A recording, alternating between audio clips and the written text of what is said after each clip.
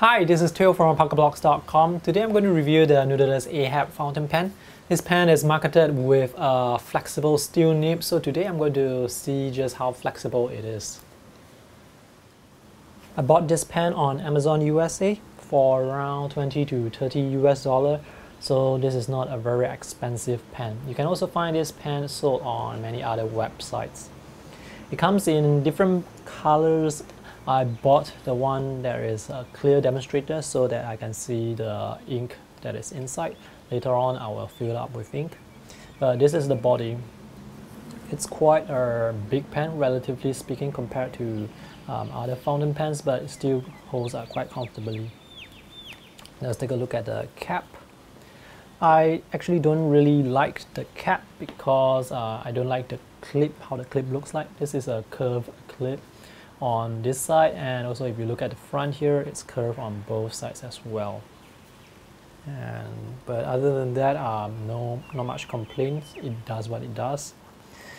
After I used the pen for maybe a few months I started to notice some scratches on the casing uh, on the cap on the body. Not too big of a deal. Anyway this is not a very expensive pen. I read online that they say that the pen is made out of some cellulose um, derivative and it is actually biodegradable. But the build quality this is actually quite hard so chances are it's not going to biodegrade in this uh, generation. This is the pen the nib the grip and the body. And it's very easy to dismantle this pen. So this is the body and this is the piston filler you see this is the piston filler and you can also dismantle the feed and the nib just basically twist very slowly and pull it out. And you get something like this. This feed I was told um, it's made out of some ebonite there's one slit in front of the feed and also one at the back. And this is the steel nib. Noodler's ink co, one single slit here and there's no breather hole at the back. When you want to put back the feed and the nib, make sure you align them properly first.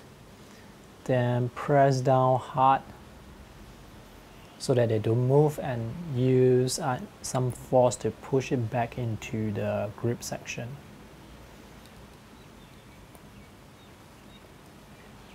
I think there's some sort of a crack in my grip section, not sure if you can see it. So there's this uh, crack here and this crack here.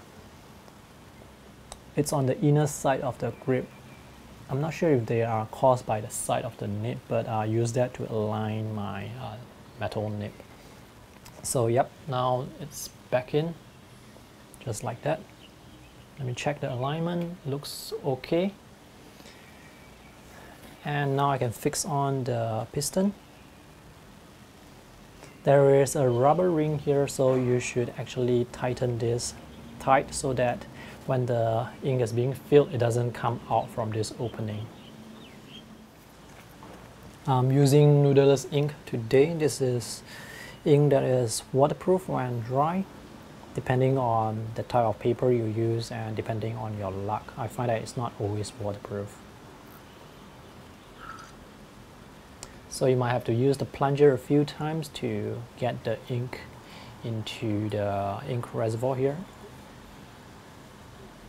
So it holds a decent amount of ink let me clean this pen up and show you some strokes. One thing I really like about the demonstrator body is it allows you to see how much ink you are left in the pen so that you can refill it before you run out of ink. Let me show you some thin and thick lines. If you draw very quickly, you can get thin lines like this. The lines are also not very dark.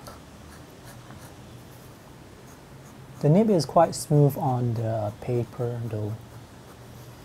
And if you draw a bit slower, you can get darker lines. This is probably a fine nib, fine to a medium nib. And if you press down hard, then you can get thicker lines like this. This also deposits more ink, so if you want to use this pen with watercolor, you have to wait a much longer time for the ink to dry before you can apply watercolor. And also, when the ink is still wet, um, try to be careful not to smear the ink with your hand because they don't dry very fast. And Noodler's ink, they really don't dry very fast. So if you want thin and thick lines, you can practice. So is this a flexible pen? Well, it does flex when you press down, but it's definitely not as flexible compared to those vintage flexible pen or other flex pens that I have.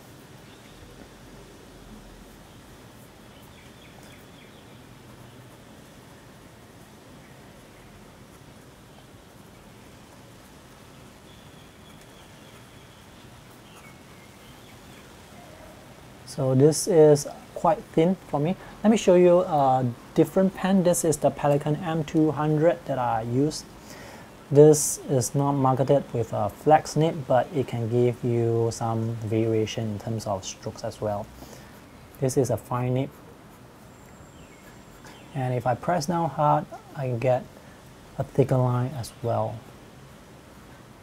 So um, not too much different compared to the Noodler's Ahab, but the Ahab gives me a thinner line. So if you want a wider variation, uh, perhaps the Ahab is a good pen for, for you.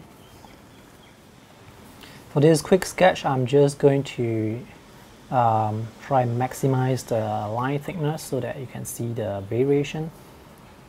The sun is casting the shadow from right to left so for all those lines that are going to be on the left side I will use much thicker lines. For example in this case here I'm just going to draw a much thicker line down and here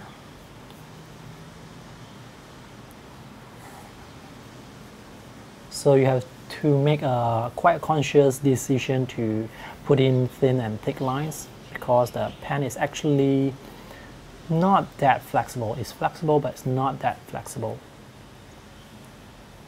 I actually have a Namiki Falcon pen that has been modified with Spencerian um, modification and that pen is really very flexible. Uh, what I mean by that is you can just apply a bit of pressure and you can get the lines to vary in thickness very, very easily.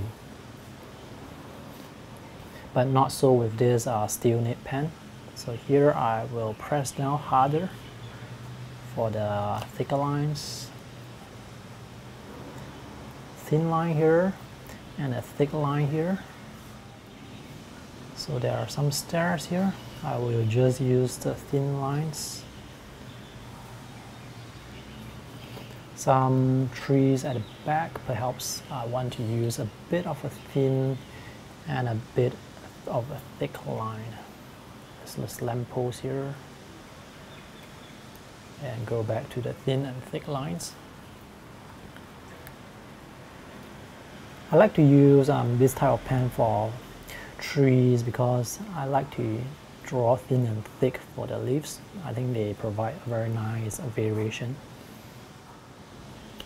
So perhaps for the door, I might want to cross hatch the glass area just to make it much darker. If I want to use the thicker lines, I can do so as well for hatching, but I have to go a bit slower. So you can get um, some sort of variation. It's, it makes the sketch look a bit more interesting when you have thin and thick lines in the same sketch. Overall, the performance of this pen is quite good. The nib is smooth on the paper. This is quite good for drawing. I would not consider this a flexible nib though because you do have to press down harder. You do have to make a conscious decision to press down to get the thicker lines. But if you do, you are rewarded with line variation that can make your sketch look more interesting. Um, overall build quality is good and you can dismantle it very easily to clean. The design of the pen is nice, I just don't like the clip. I think overall it's quite a good pen that is value for money. Uh, one downside of this pen other than the clip that I don't like is the smell of the pen. It has a very strong smell, especially when the pen is new. Uh, I've had this pen for probably one or two years the smell has faded away but sometimes I do get that smell if I put a pen too close to my nose for whatever reason. Um, but the smell takes a long time to go away. So um, yeah that's one significant downside of this particular pen uh, but for drawing purposes, I think it's good.